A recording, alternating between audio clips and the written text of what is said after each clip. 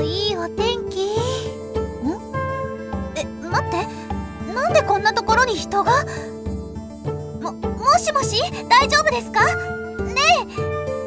どどうしよう。何の反応もないよ。あれ？なんか手にベトベトしたものが。ち血だ？この人怪我してる。嘘！ひどい傷！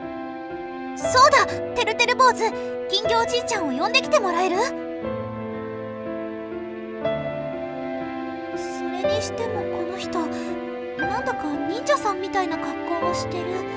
仮面までかぶって。もしかして危険人物？お起きた！すごく優しい声。私はそばに駆け寄って彼の手を握った。助けてあげる。必ず助けてあげるからね。